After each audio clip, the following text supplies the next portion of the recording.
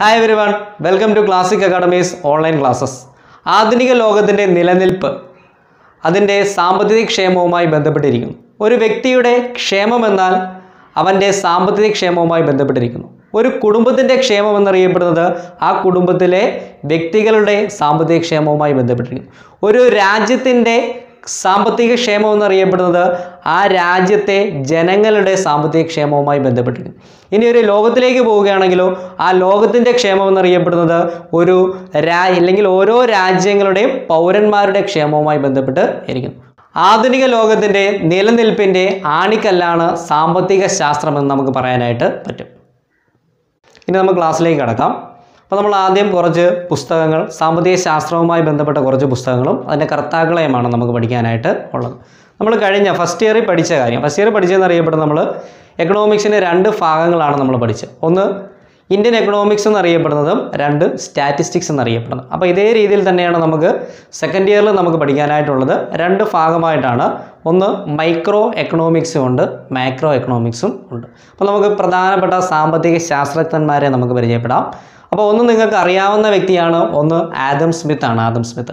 ആദം സ്മിത്തിനെ അറിയപ്പെടുന്നത് father of economics എന്നറിയപ്പെടുന്ന വ്യക്തിയാണ് ആദം സ്മിത്ത് ആണ് ആദം സ്മിത്ത്. അപ്പം എക്കണോമിക്സിന്റെ സാമ്പത്തിക ശാസ്ത്രത്തിന്റെ പിതാവ് എന്നറിയപ്പെടുന്ന ആദം സ്മിത്ത് ആണ് ആദം സ്മിത്ത് ആണ്. അപ്പോൾ ആദം സ്മിത്തിന്റെ കാര്യങ്ങൾ നോക്കാം. ആദം സ്മിത്തിന്റെ പ്രധാനപ്പെട്ട പുസ്തകമാണ് വെൽത്ത് ഓഫ് നേഷൻ എന്നറിയപ്പെടുന്ന പുസ്തകമാണ് in the year seventeen seventy six ആയിരത്തി എഴുന്നൂറ്റി എഴുപത്തി ആറിൽ പുറത്തിറക്കിയ പുസ്തകമാണ്. ഇതാണ് സാമ്പത്തിക ശാസ്ത്രവുമായി ആദ്യത്തെ ഗ്രന്ഥമായി കരുതപ്പെടുന്നതാണ്. അല്ലെങ്കിൽ അംഗീകരിച്ചിട്ടുള്ള ഗ്രന്ഥമാണ് ആദം സ്മിത്തിന്റെ കൃതിയായിട്ടുള്ള വെൽത്ത് ഓഫ് നേഷൻ എന്നറിയപ്പെടുന്ന കൃതി. അപ്പോൾ Adam Smith father of economics എന്നറിയപ്പെടുന്ന ആദം സ്മിത്താണ്. പുസ്തകമാണ് വെൽത്ത് ഓഫ് നേഷൻ ആണ്. പുറത്തിറങ്ങിയ വർഷം സെവന്റീൻ സെവന്റി സിക്സ് ആണ്. രണ്ടാമത്തിലേക്ക് പോകാം. ലയണൽ റോബിൻസ് എന്നറിയപ്പെടുന്ന വ്യക്തിയാണ്. ലയണൽ റോബിൻസ് ലയണൽ റോബിൻസിന്റെ പുസ്തകമാണ് nature and scope of economics എന്നറിയപ്പെടുന്ന പുസ്തകം നയന്റീൻ തേർട്ടി വൺ ആണ്. നയന്റീൻ തേർട്ടി വൺ അപ്പോൾ രണ്ടാമത്തെ പുസ്തകം നോക്കുക. ലയണൽ റോബിൻസിന്റെ പുസ്തകമാണ്. Nature and scope of economics ആണ് നയന്റീൻ തേർട്ടി വണ്ണിൽ പുറത്തിറങ്ങിയ പുസ്തകമാണ്. അടുത്ത ടെസ്റ്റിലേക്ക് പോകാം ജെയിം കെയ്ൻസ് അഥവാ ജോൺ മൈനാഡ് കെയ്ൻസ് എന്നറിയപ്പെടുന്ന വ്യക്തി. ഇദ്ദേഹത്തിന് പ്രത്യേകതയുണ്ട്. ഒരു സാമ്പത്തിക ശാസ്ത്രവുമായി ബന്ധപ്പെട്ട് പുതിയൊരു ശാഖയ്ക്ക് തുടക്കം കുറിച്ച വ്യക്തിയാണ് ജോൺ മൈനാഡ് കെയ്ൻസ് എന്നറിയപ്പെടുന്ന വ്യക്തി. അപ്പോൾ അദ്ദേഹത്തിന്റെ പുസ്തകമാണ് general theory of interest and money എന്നറിയപ്പെടുന്ന പുസ്തകമാണ്. നയന്റീൻ തേർട്ടി സിക്സിൽ പുറത്തിറക്കിയ പുസ്തകമാണ് ജോൺ മൈനാഡ് കെയ്ൻസിന്റെ പുസ്തകം. അടുത്ത പുസ്തകമാണ് ആൽഫർഡ് മാർഷലാണ് പ്രിൻസിപ്പിൾസ് ഓഫ് എക്കണോമിക്സ് എന്നറിയപ്പെടുന്ന പുസ്തകം എഴുതി എയ്റ്റീൻ നയന്റീനിലാണ് ഇത് പബ്ലിഷ് ചെയ്തത്. അപ്പം ഈ പുസ്തകങ്ങൾ ഈ പുസ്തകങ്ങൾ പ്രധാനമായിട്ട് നമുക്ക് ഈ കഴിഞ്ഞതിന്റെ അങ്ങേ വർഷമൊക്കെ മാറ്റി ദി ഫോളോയിങ്ങിൽ നമുക്ക് ലാസ്റ്റ് വർഷം നമുക്ക് ചോദിച്ച ചോദ്യമാണ്. അപ്പോൾ കൃത്യമായിട്ട് പഠിക്കണം. ഒന്നുകൂടെ പറയാം. Adam Smith father of economics എന്നറിയപ്പെടുന്ന ആദം സ്മിത്ത് ആണ് ആദം സ്മിത്തിന്റെ പുസ്തകമാണ് വെൽത്ത് ഓഫ് നേഷൻ എന്നറിയപ്പെടുന്ന പുസ്തകം. സെവന്റീൻ സെവന്റി സിക്സിലാണ് പുറത്തിറങ്ങി. രണ്ടാമത് നമ്മൾ പറഞ്ഞത് ലാനൽ റോബിൻസ് ആണ്. ലൈബൺ ലാനൽ റോബിൻസിന്റെ പുസ്തകമാണ് nature and scope of economics nineteen thirty one അടുത്ത നമ്മൾ പറഞ്ഞത് ജോൺ മൈനാഡ് ഗെയിൻസിന്റെ പുസ്തകമാണ് ജനറൽ തിയറി പുറത്തിറങ്ങിയ വർഷം നയന്റീൻ തേർട്ടി സിക്സ് ആണ്. അടുത്തത് ആൽഫർഡ് മാർഷലിന്റെ പുസ്തകമാണ് പ്രിൻസിപ്പിൾസ് ഓഫ് എക്കണോമിക്സ് എന്നറിയപ്പെടുന്നത്. പുറത്തിറങ്ങിയ വർഷം എയ്റ്റീൻ നയന്റി. ഇനി നമുക്ക് പോകാം. എന്താണ് സാമ്പത്തിക ശാസ്ത്രമെന്ന് അറിയപ്പെടുന്നത്? അപ്പം സാമ്പത്തിക ശാസ്ത്രം എന്നറിയപ്പെടുന്നത് എക്കണോമിക്സ് സാമ്പത്തിക ശാസ്ത്രം ഈസ് എ സയൻസ് ആണ്. എക്കണോമിക്സ് എന്നറിയപ്പെടുന്നത് ഒരു ശാസ്ത്രം ആണ്.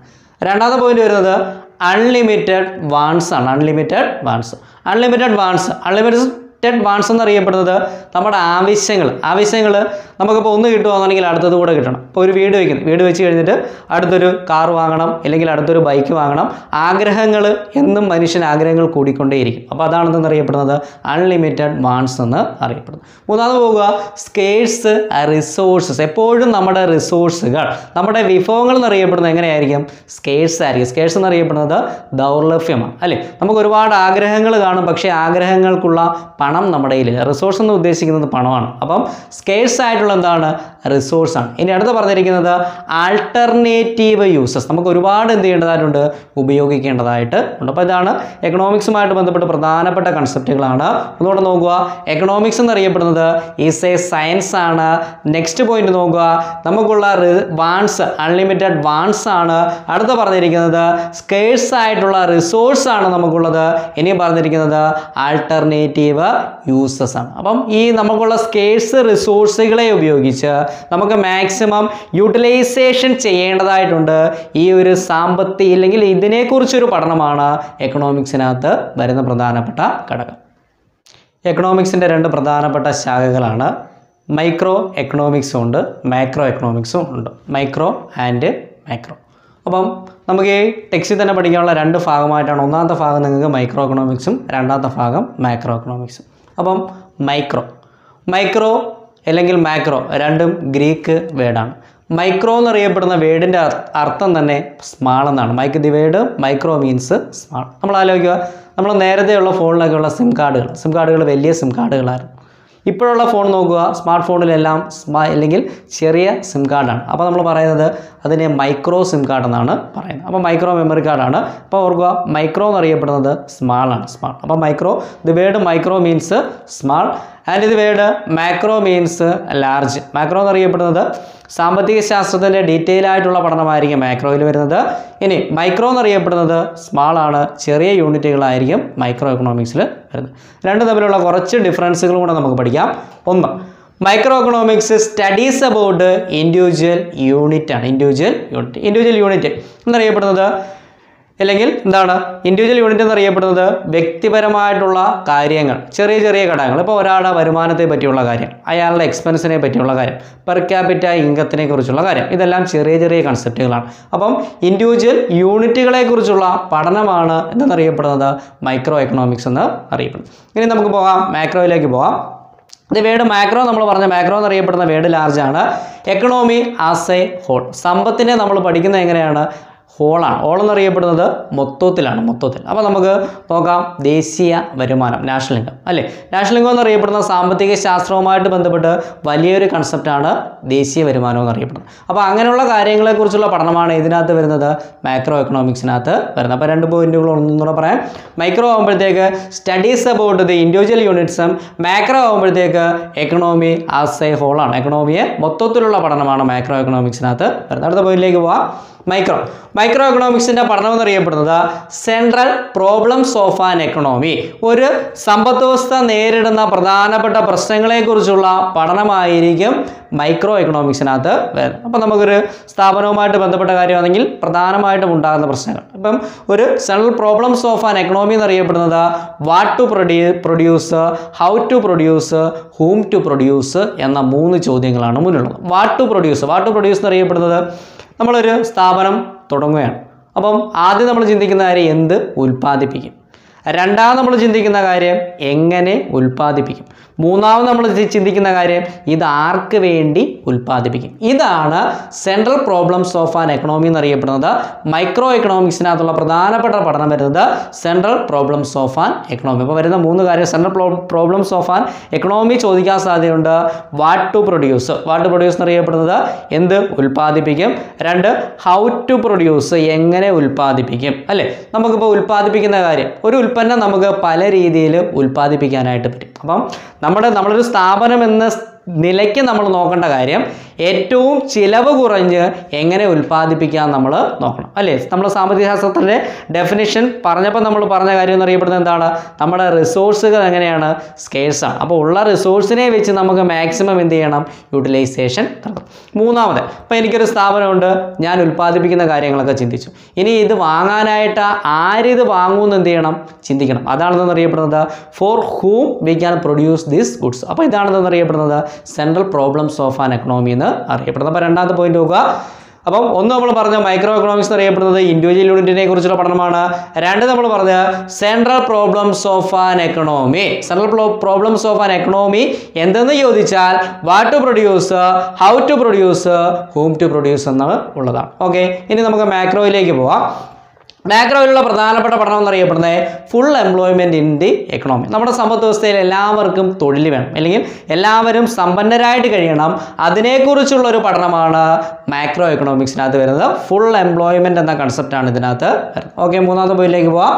മൈക്രോ എക്കണോമിക്സ് എന്നറിയപ്പെടുന്നത് പ്രൈസ് തിയറിയാണ് ഈ മൈക്രോ എക്കണോമിക്സിനെ അറിയപ്പെടുന്ന മറ്റൊരു പേരെന്നറിയപ്പെടുന്നത് പ്രൈസ് തിയറിയാണ് ഇനി മാക്രോ എക്കണോമിക്സ് ആകുമ്പോഴത്തേക്ക് അത് അഗ്രഗേറ്റ് എക്കണോമിക്സ് എന്നാണ് അറിയപ്പെടുന്നത്. അപ്പോൾ മൈക്രോ എക്കണോമിക്സ് പ്രൈസ് തിയറി എന്നറിയപ്പെടുന്നുണ്ട് മാക്രോ എക്കണോമിക്സ് അറിയപ്പെടുന്നത് അഗ്രഗേറ്റ് എക്കണോമിക്സ് എന്നാണ് അറിയപ്പെടുന്നത്. അടുത്ത പോയിന്റിലേക്ക് പോകാം ഇനി മൈക്രോ എക്കണോമിക്സ് അറിയപ്പെടുന്ന ചെറിയ കൺസെപ്റ്റാണ് നമ്മൾ പറഞ്ഞത്. അതുകൊണ്ട് തന്നെ ഡയറക്റ്റ് ആൻഡ് സിമ്പിൾ ആണ്. വളരെ പെട്ടെന്ന് തന്നെ നമുക്ക് മൈക്രോ എക്കണോമിക്സ് തിയറി നമുക്ക് മനസ്സിലാക്കാനായിട്ട് പറ്റും. ഇനി മാക്രോയിലേക്ക് പോകുകയാണെങ്കിൽ not often direct and simple പലപ്പോഴും നമ്മൾ പഠിക്കുന്നത് മാക്രോ എക്കണോമിക്സ് നാഷണൽ ഇൻകത്തെക്കുറിച്ചും അല്ലെങ്കിൽ ബാങ്കിങ്ങിനെ കുറിച്ചും അങ്ങനെ വലിയ കൺസെപ്റ്റുകളാണ് നമ്മൾ പഠിക്കുന്നത്. അത് often not often direct and simple നമുക്ക് പെട്ടെന്ന് പഠിക്കാൻ കഴിയില്ല. അല്ലെങ്കിൽ കുറച്ച് കട്ടിയായിട്ടുള്ള കാര്യങ്ങളാണ് മൈക്രോ എക്കണോമിക്സിനകത്ത് വരുന്ന കാര്യങ്ങൾ. അപ്പോൾ മൈക്രോയും മാക്രോയും തമ്മിലുള്ള ഡിഫറൻസ് നമ്മൾ പഠിച്ചു. ഇനി നമുക്ക് മാക്രോ എക്കണോമിക്സ് എന്നറിയപ്പെടുന്ന ആ കൺസെപ്റ്റിലേക്ക് പോകാം. മാക്രോ എക്കണോമിക്സ് മാക്രോ എക്കണോമിക്സിന്റെ പിതാവ് എന്നറിയപ്പെടുന്ന വ്യക്തി. വ്യക്തി ഞാൻ എഴുതിയിട്ടില്ല പക്ഷേ പുസ്തകം കാണുമ്പോൾ നിങ്ങൾക്കറിയാം. നേരത്തെ നമ്മൾ പഠിച്ചതാണ് ദി ജനറൽ തിയറി എന്നറിയപ്പെടുന്ന ഒരു പുസ്തകം നമ്മൾ പഠിച്ചായിരുന്നു. പേര് ജോൺ മൈനാഡ് കെയ്ൻസ് എന്നറിയപ്പെടുന്ന വ്യക്തിയാണ്. അപ്പം the general theory of interest and money എന്നറിയപ്പെടുന്ന പുസ്തകം എഴുതിയ വ്യക്തിയാണ് ജോൺ മൈനാഡ് കെയ്ൻസ് എന്നറിയപ്പെടുന്ന വ്യക്തിയാണ്. അപ്പം ആയിരത്തി തൊള്ളായിരത്തി മുപ്പത്തി ആറിൽ പുറത്തിറക്കിയ ഈ ഒരു പുസ്തകമാണ് മാക്രോ എക്കണോമിക്സ് എന്നറിയപ്പെടുന്ന ഈ ഒരു സാമ്പത്തിക ശാസ്ത്ര ശാഖ എമേർജ് ചെയ്യാൻ കാരണമായിട്ട് മാറിയത്. കാരണം ഉണ്ട്. കാര്യം ആയിരത്തി തൊള്ളായിരത്തി ഇരുപത്തൊമ്പത് മുപ്പത്തിമൂന്ന് കാലയളവിലാണ് ഗ്രേറ്റ് ഡിപ്രഷൻ ഉണ്ടാവുന്നത്. അതുവരെയുള്ള എക്കണോമിസ്റ്റ് ക്ലാസിക്കൽ എക്കണോമിസ്റ്റ് ആണ്. അപ്പോൾ അവർ ചിന്തിച്ചിരുന്ന കാര്യം എന്ന് അറിയപ്പെടുന്നത് എന്ത് ഉൽപ്പാദിപ്പിച്ചാലും ആൾക്കാർ വാങ്ങും. അപ്പോൾ അതേ രീതിയിൽ തന്നെ എല്ലാവർക്കും ഫുൾ എംപ്ലോയ്മെന്റ് ആണ് എന്നൊരു കൺസെപ്റ്റാണ് നേരത്തെ ഉണ്ടായിരുന്നത്. പക്ഷേ ഡിപ്രഷനോട് കൂടി ഉണ്ടായ കാര്യം എന്നറിയപ്പെടുന്നത് സാമ്പത്തിക ശാസ്ത്ര ശാഖ തകരുകയും വൻ സാമ്പത്തിക ശക്തികൾക്ക് തന്നെ നിൽക്കാൻ പറ്റാത്തൊരവസ്ഥയിലേക്ക് മാറി. അന്നാണ് ക്ലാസിക്കൽ എക്കണോമിസ്റ്റിന്റെ വ്യൂസ് തെറ്റാണെന്ന് അഭിപ്രായപ്പെടുകയും ഈ the general theory of interest and money എന്നറിയപ്പെടുന്ന പുസ്തകത്തിലൂടെ ജെയിം കെയ്ൻസ് ഇത് പറയുകയാണ് ചെയ്തത്. ഈ ഒരു തിയറി അറിയപ്പെടുന്ന പേരാണ് കൈനീഷ്യൻ തിയറി എന്നാണ് സാമ്പത്തിക ശാസ്ത്ര ചരിത്രത്തിൽ ഇത് അറിയപ്പെടുന്നത്. ഓക്കെ നമുക്ക് പോകാം. മാക്രോ എക്കണോമിക്സ് കൺസെപ്റ്റുകളിലേക്ക് നമുക്ക് പോകാം. അപ്പം മാക്രോ എക്കണോമിക്സിന്റെ പഠനശാഖയിൽ വരുന്ന പ്രധാനപ്പെട്ട ഘടകങ്ങളാണ് ഒന്ന് the theory of income output and employment വരുന്ന ഒന്നാമത്തെ കാര്യം നോക്കുക. ദി തിയറി ഓഫ് ഇൻകം വരുമാനത്തെക്കുറിച്ചുള്ള കാര്യം വരുന്നുണ്ട്. ഔട്ട്പുട്ടുകളെക്കുറിച്ചുള്ള കാര്യം. എന്താണ് ഔട്ട്പുട്ട് എന്നറിയപ്പെടുന്ന ഔട്ട്പുട്ട് നമ്മൾ എന്തെങ്കിലും ഉൽപ്പാദിപ്പിച്ച് പുറത്തേക്ക് വരുന്നതാണ് ഔട്ട്പുട്ട് എന്ന് അറിയപ്പെടുന്നത്. ഉദാഹരണമായിട്ട് ഇപ്പോൾ നമുക്ക് വീട് വയ്ക്കാനായിട്ട് വീട് വയ്ക്കാനായിട്ട് നമുക്ക് ബ്രിക്സ് വേണ്ടതായിട്ടുണ്ട് സിമെന്റ് വേണ്ടതായിട്ടുണ്ട്. അപ്പോൾ ഇതെല്ലാം കൂടെ ചെയ് ഇതിനെയെല്ലാം പറയുന്ന ഇൻപുട്ട് എന്നാണ്. ഈ ഇൻപുട്ട് എല്ലാം ചേർന്നാണ് എന്തായിട്ട് മാറുന്നത്? ഔട്ട്പുട്ടായിട്ട് മാറുന്നത്. അപ്പം ഒരു പ്രൊഡക്ഷൻ യൂണിറ്റിന്റെ ഔട്ട്പുട്ടിനെ കുറിച്ചുള്ള കാര്യം ആൻഡ് എംപ്ലോയ്മെന്റ് നമ്മുടെ രാജ്യത്തുള്ള തൊഴിലിനെ കുറിച്ചുള്ള പഠനം ഈ പഠനമാണ് പ്രധാനമായിട്ട് മാക്രോ എക്കണോമിക്സിനകത്ത് വരുന്നത്. അപ്പം പറയുന്ന പറഞ്ഞ കാര്യം ഇതാണ്. The theory of income output and employment രണ്ടാമത്തെ പോയിന്റിലേക്ക് പോവാം. എക്കണോമിക് ഗ്രോത്ത് ആൻഡ് സ്റ്റെബിലിറ്റി അപ്പോൾ നമ്മുടെ രാജ്യത്തിന്റെ വളർച്ച അല്ലേ? ഇപ്പോൾ ഇന്ന് വളർച്ചാ നിരക്കുണ്ട് നാളെ വളർച്ചാ നിരക്കില്ല. ആ സമ്പദ് വ്യവസ്ഥ കൃത്യമായിട്ട് മുന്നോട്ട് പോകാൻ ബുദ്ധിമുട്ടായിരിക്കും. അപ്പം ഗ്രോത്ത് മാത്രം പോരാ ആ ഗ്രോത്തിന് എന്ത് വേണ്ടതായിട്ടുണ്ട്? സ്റ്റെബിലിറ്റി വേണ്ടതായിട്ടുണ്ട് നിലനിൽപ്പ് വേണ്ടതായിട്ട്. ഉണ്ട് അപ്പോൾ രണ്ടാമത്തെ പോയിലേക്ക് പോവാം. Economic growth and stability macro എക്കണോമിക്സിൽ പഠിക്കുന്ന കാര്യം ആണ്. ഓക്കെ അടുത്തതിലേക്ക് പോകാം. ഇന്റർനാഷണൽ ട്രേഡ് അപ്പോൾ നമ്മൾ ഉദ്ദേശിക്കുക ഇന്റേണൽ ട്രേഡ് ഇന്റേണൽ ട്രേഡ് ആയിരുന്നുണ്ടെങ്കിൽ അത് എന്തായേനെ ഇന്റേർണൽ ആകുമ്പോഴത്തേക്ക് ചെറിയൊരു കൺസെപ്റ്റാണ് അത് മൈക്രോ ആയിട്ട് പറയും. അല്ലേ? ഇന്റർനാഷണൽ അറിയപ്പെടുന്നത് അന്തർദേശീയ വ്യാപാരമാണ്. അന്തർദേശീയ വ്യാപാരം മാക്രോ എക്കണോമിക് കൺസെപ്റ്റ് ആണ്. നമ്മൾ ആദ്യം മൈക്രോയും മാക്രോയും എന്താണെന്ന് അങ്ങ് മനസ്സിലാക്കാം. മാക്രോ എന്ന് അറിയപ്പെടുന്നത് എന്താണ്? ലാർജാണ് അപ്പോൾ വലിയ വലിയ കൺസെപ്റ്റുകളെല്ലാം വരുന്നത് മാക്രോ എക്കണോമിക്സിനകത്തായിരിക്കും വരുന്നത്. അപ്പോൾ നമ്മൾ പറഞ്ഞത് ഇന്റർനാഷണൽ ട്രേഡ് മാക്രോ എക്കണോമിക്സിലാണ് അടുത്ത് നോക്കുക. ഇൻഫ്ലേഷൻ ആൻഡ് ഡീഫ്ലേഷൻ എന്താണ് ഇൻഫ്ലേഷൻ എന്താണ് ഡീഫ്ലേഷൻ ഇൻഫ്ലേഷൻ എന്നറിയപ്പെടുന്നത് പണപ്പെരുപ്പമാണ് ഇൻഫ്ലേഷൻ ഡീഫ്ലേഷൻ എന്നറിയപ്പെടുന്നത് പണമില്ല പണ ചുരുക്കമാണെന്ന് അറിയപ്പെടുന്നത് ഇൻ ഡീഫ്ലേഷൻ എന്ന് അറിയപ്പെടുന്നത് അപ്പോൾ ഇത് രണ്ടും ഒരു രാജ്യവുമായിട്ട് ബന്ധപ്പെട്ട കൺസെപ്റ്റുകളാണ് അല്ലെങ്കിൽ അന്തർദേശീയ തലത്തിൽ ചർച്ച ചെയ്യുന്ന കാര്യമാണ്. അപ്പോൾ ഇത് മാക്രോ എക്കണോമിക് കൺസെപ്റ്റിനകത്ത് വരുന്ന കാര്യം ആണ്. അടുത്തതിലേക്ക് പോവാം. The theory of money and banking അല്ലേ?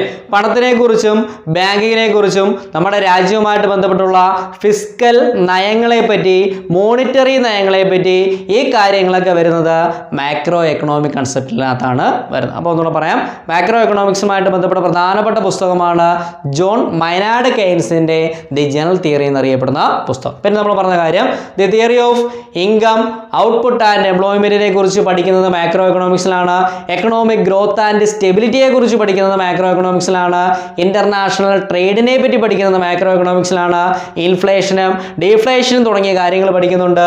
ഇനി അടുത്തത് the theory of money and ബാങ്കിങ്ങും physical നയങ്ങളെ പറ്റിയും മോണിറ്ററി പോളിസിയെ പറ്റിയും എല്ലാം പഠിക്കുന്ന ശാസ്ത്ര ശാഖയാണ് മാക്രോ എക്കണോമിക്സ് എന്ന് അറിയപ്പെടുന്നത്. പ്രധാനപ്പെട്ട മൂന്ന് എക്കണോമീസ് അപ്പോൾ ഒന്ന് ക്യാപിറ്റലിസ്റ്റ് എക്കോണമി ഉണ്ട് സോഷ്യലിസ്റ്റ് എക്കണോമി ഉണ്ട് പിന്നീട് മിക്സഡ് എക്കോണമിയും ഉണ്ട്. അപ്പം ക്യാപിറ്റലിസ്റ്റ് എക്കോണമി എന്നറിയപ്പെടുന്നത് മുതലാളിത്ത സമ്പദ് വ്യവസ്ഥയാണ് ക്യാപിറ്റലിസ്റ്റ് എക്കോണമി യൂറോപ്യൻ രാജ്യങ്ങൾ മിക്കവാറും ഉള്ളതെല്ലാം ക്യാപിറ്റലിസ്റ്റ് എക്കോണമിയാണ് അടുത്താണ് സോഷ്യലിസ്റ്റ് എക്കോണമി സോഷ്യലിസ്റ്റ് എക്കോണമി എന്നറിയപ്പെടുന്നത് തൊഴിലാളികളുമായിട്ട് ബന്ധപ്പെട്ട് നിൽക്കുന്ന ആണ് സോഷ്യലിസ്റ്റ് എക്കോണമി ഇന്ന് വളരെ ചുരുക്കം രാജ്യങ്ങൾ മാത്രമേ നമുക്ക് സോഷ്യലിസ്റ്റ് എക്കോണമി കാണാൻ പറ്റൂ. മിക്കവാറും രാജ്യങ്ങളൊക്കെ അഡോപ്റ്റ് ചെയ്യുന്നത് മിക്സഡ് എക്കോണമിയാണ് മിക്സഡ് എക്കോണമി എന്ന് ഉദ്ദേശിക്കുന്നത് രണ്ട് സമ്പദ് വ്യവസ്ഥയ്ക്കും പ്രാധാന്യം. ബോത്ത് ക്യാപിറ്റലിസ്റ്റ് ആൻഡ് സോഷ്യലിസ്റ്റ് അവിടെ മുതലാളിത്തവും ഉണ്ട് തൊഴിലാളിത്തവും ഉണ്ട്. അപ്പോൾ അങ്ങനെ ഒരു സമ്പദ് വ്യവസ്ഥയാണ് മിക്സഡ് എക്കോണമി എന്ന് അറിയപ്പെടുന്നത്. ഇന്ത്യയൊക്കെ മിക്സഡ് എക്കോണമിക്ക് ഉദാഹരണമാണ്. മിക്കവാറുമുള്ള ഏഷ്യൻ രാജ്യങ്ങളെല്ലാം മിക്സഡ് എക്കോണമിയാണ് അഡോപ്റ്റ് ചെയ്തിരിക്കുന്നത്. അപ്പോൾ നമുക്ക് പോകാം. ഈ ക്യാപിറ്റലിസ്റ്റ് എക്കോണമിയിലേക്ക് ക്യാപിറ്റലിസ്റ്റ് എക്കോണമിയുടെ പ്രധാനപ്പെട്ട ഫീച്ചേഴ്സ് ഒന്ന് പ്രൈവറ്റ് ഓണർഷിപ്പ് അപ്പോൾ ഇവിടെ ഓണർഷിപ്പ് ആർക്കായിരിക്കും? പ്രൈവറ്റിനാണ് പ്രൈവറ്റ് എന്നറിയപ്പെടുന്നത് സ്വകാര്യ വ്യക്തികൾക്ക് അല്ലെങ്കിൽ സ്വകാര്യ മേഖലയായിരിക്കും ക്യാപിറ്റലിസ്റ്റ് എക്കോണമിയിൽ ഓണർഷിപ്പിലേക്ക് പോകുന്നത്. രണ്ടാമത്തെ പോയിന്റ് ഇവരുടെ ലക്ഷ്യം എന്താണ്? മാക്സിമം പ്രോഫിറ്റ് ആണ്. Maximisation of profit is the main aim of capitalist economy അപ്പോൾ ക്യാപിറ്റലിസ്റ്റ് എക്കോണമിയുടെ പ്രധാനപ്പെട്ട ലക്ഷ്യം. ഇപ്പോൾ ഒരു സോഷ്യലിസ്റ്റ് ആണ് അല്ലെങ്കിൽ മിക്സഡ് ആണെന്നുണ്ടെങ്കിൽ അവർ പൂർണമായിട്ടും ലാഭമായിരിക്കത്തില്ല ചിന്തിക്കുന്നത്. പക്ഷേ ഒരു ക്യാപിറ്റലിസ്റ്റ് എക്കോണമി ആകുമ്പോഴത്തേക്ക് അവർ പൂർണമായിട്ടും അവർക്ക് വേണ്ടുന്നത് ലാഭം മാത്രമാണ്. അപ്പം മാക്സിമം പ്രോഫിറ്റ് ഉണ്ടാക്കുക എന്നുള്ളതാണ് അവരുടെ പ്രധാനപ്പെട്ട ലക്ഷ്യം. നമ്മൾ സ്വാഭാവികമായിട്ട് നമ്മൾ ചിന്തിക്കുക സ്വകാര്യ കമ്പനികൾ അല്ലേ?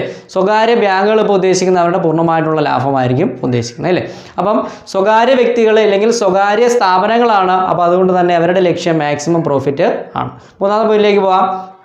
കോമ്പറ്റീഷൻ ഇൻ ദി മാർക്കറ്റ് കാര്യം ഒരു സ്വകാര്യ കമ്പനി മാത്രമല്ല ഒരുപാട് കമ്പനികൾ മാർക്കറ്റിലേക്ക് ഉണ്ട്. അപ്പോൾ അവർ തമ്മിൽ എന്തുണ്ട്? കോമ്പറ്റീഷനുള്ള സാധ്യതയുണ്ട്. അപ്പം അടുത്തൊരു ഫീച്ചറാണ് കോമ്പറ്റീഷൻ ഇൻ ദി മാർക്കറ്റ് ഇതുകൊണ്ട് നമുക്ക് നേട്ടമുണ്ട്. കാരണം എന്താണ്?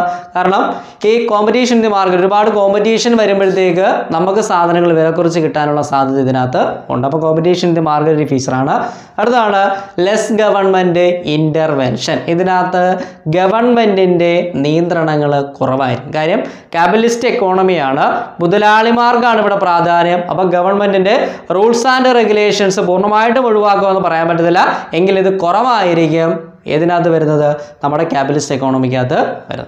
അടുത്താണ് പ്രൈവറ്റ് പ്രോപ്പർട്ടി അപ്പോൾ ഇത് പൂർണമായിട്ടും ആരുടെ ആയിരിക്കും? സ്വകാര്യ വ്യക്തികളുടെ പ്രോപ്പർട്ടി ആയിരിക്കും. ഫ്രീഡം ഓഫ് ചോയ്സ് അവർക്ക് തിരഞ്ഞെടുക്കാം. എങ്ങനെ കച്ചവടം നടത്തണം? എങ്ങനെ ഈ സമ്പദ് വ്യവസ്ഥ കൊണ്ടുപോകാമെന്ന് തീരുമാനിക്കാനുള്ള അധികാരവും ക്യാപിറ്റലിസ്റ്റിനാണ് അപ്പോൾ ഫ്രീഡം ഓഫ് ചോയ്സും ക്യാപിറ്റലിസ്റ്റ് എക്കോണമിക്കകത്ത് ഉണ്ട്. അപ്പം ഒരു ക്യാപിറ്റലിസ്റ്റ് എക്കോണമി എന്നറിയപ്പെടുന്നത് ആ ഓണർഷിപ്പ് വരുന്നത് പ്രൈവറ്റ് പാർട്ടീസിനായിരിക്കും ഓണർഷിപ്പ് വരുന്ന പ്രൈവറ്റ് പാർട്ടീസിനാണ് അപ്പോൾ നോക്കുക ഫീച്ചേഴ്സ് നോക്കുക. ഒന്ന് പ്രൈവറ്റ് ഓണർഷിപ്പ് ആണ്. രണ്ട് പറഞ്ഞു ഇവരുടെ പ്രധാനപ്പെട്ട ലക്ഷ്യം പ്രോഫിറ്റ് മാക്സിമൈസേഷൻ ആണ്. മൂന്ന് കോമ്പറ്റീഷൻ മാർക്കറ്റിലുണ്ട് നാല് ഗവൺമെന്റിന്റെ ഇന്റർവെൻഷൻ കുറവായിരിക്കും. അടുത്തത് പ്രൈവറ്റ് പ്രോപ്പർട്ടിയാണ് നെക്സ്റ്റ് ആണ് ഫ്രീഡം ഓഫ് ചോയ്സ് എന്ന് അറിയപ്പെടുന്നത്. നമ്മളിന്ന് ഡിസ്കസ് ചെയ്ത ടോപ്പിക്കുകൾ ഒന്നുകൂടെ പറയാം. ഒന്ന് നമ്മൾ പറഞ്ഞ നാല് എക്കണോമിസ്റ്റും അവരുടെ കൃതികളും പറഞ്ഞു. അപ്പോൾ അതിനകത്ത് പ്രധാനപ്പെട്ടതാണ് ആദം സ്മിത്തിന്റെ കാര്യം പറഞ്ഞു. ആദം സ്മിത്തിനെ അറിയപ്പെടുന്നത് ഫാദർ ഓഫ് എക്കണോമിക്സ് എന്നാണ്. വെൽത്ത് ഓഫ് നേഷൻ എന്നറിയപ്പെടുന്ന പുസ്തകം. പിന്നെയുള്ള പ്രധാനപ്പെട്ട പുസ്തകം ജോൺ മൈനാഡ് കെയ്ൻസിന്റെ പുസ്തകമാണ്. ജനറൽ തിയറി എന്നറിയപ്പെടുന്ന പുസ്തകം. അപ്പം ആ ഒരു ടോപ്പിക്ക് നമ്മൾ നാല് കർത്താക്കളെ പറഞ്ഞായിരുന്നു. അത് കൃത്യമായിട്ട് നിങ്ങൾ പഠിക്കുക. അതിനുശേഷം വന്ന ടോപ്പിക് എന്നറിയപ്പെടുന്ന എക്കണോമിക്സ് എന്താണെന്ന് പറഞ്ഞു. Economics is a science deals with എന്താണ് വരുന്നതെന്ന് വെച്ചാൽ എന്താണ്? അൺലിമിറ്റഡ് ആയിട്ടുള്ള അല്ലെങ്കിൽ നമുക്ക് അൺലിമിറ്റഡ് ആയിട്ടുള്ള നമ്മുടെ വാൺസ് അൺലിമിറ്റഡ് ആണ്. ആ സ്കേഴ്സ് റിസോഴ്സിനെ വെച്ച് നമ്മൾ മാക്സിമം യൂട്ടിലൈസേഷൻ നടത്തണം അപ്പോൾ അതാണ് എക്കണോമിക്സ് എന്നറിയപ്പെടുന്ന ശാസ്ത്രത്തിനകത്ത് വരുന്ന പ്രധാനപ്പെട്ട കാര്യം. പിന്നെ നമ്മൾ ക്ലാസ്സിലേക്ക് പോവുകയാണ്. മൈക്രോയും മാക്രോയും തമ്മിലുള്ള ഡിഫറൻസ് ആണ് നമ്മൾ പറഞ്ഞത്. അപ്പോൾ മൈക്രോ എന്താണ് മാക്രോ എന്താണെന്ന് അറിഞ്ഞിരിക്കണം. മൈക്രോ എന്നറിയപ്പെടുന്നത് സ്മാൾ ആണ് ഇൻഡിവിജ്വൽ യൂണിറ്റുകളെക്കുറിച്ചുള്ള പഠനമാണ് മൈക്രോ എക്കണോമിക്സിനകത്ത് വരുന്നത്. മാക്രോ എന്നറിയപ്പെടുന്നത് the economy as a whole നമ്മൾ എക്കണോമിയെ മൊത്തത്തിൽ പഠിക്കുന്ന ഒരു പഠന ശാഖയാണ് മാക്രോ എക്കണോമിക്സ് എന്ന് അറിയപ്പെടുന്നത്. അപ്പോൾ അത് രണ്ടും തമ്മിലുള്ള ഡിഫറൻസ് നമ്മൾ പറഞ്ഞ് മൈക്രോയെ അറിയപ്പെടുന്നത് പ്രൈസ് തിയറി എന്നറിയപ്പെടുന്നുണ്ട്. മാക്രോയെ അറിയപ്പെടുന്നത് അഗ്രഗേറ്റ് എക്കണോമിക്സ് എന്നറിയപ്പെടുന്നുണ്ട്. അപ്പം മൈക്രോയും മാക്രോയും തമ്മിലുള്ള കുറച്ച് ഡിഫറൻസുകൾ അഞ്ചാറ് ഡിഫറൻസുകൾ പറഞ്ഞു. അത് കൃത്യമായിട്ട് പഠിക്കും. ഇന്ന് പഠിപ്പിച്ച കാര്യങ്ങൾ നിങ്ങൾ കൃത്യമായി വീട്ടിലിരുന്ന് പഠിക്കുക. തുടർന്നുള്ള ടോപ്പിക്കുകളുമായി അടുത്ത ക്ലാസ്സിൽ വീണ്ടും നമുക്ക് കാണാം. താങ്ക്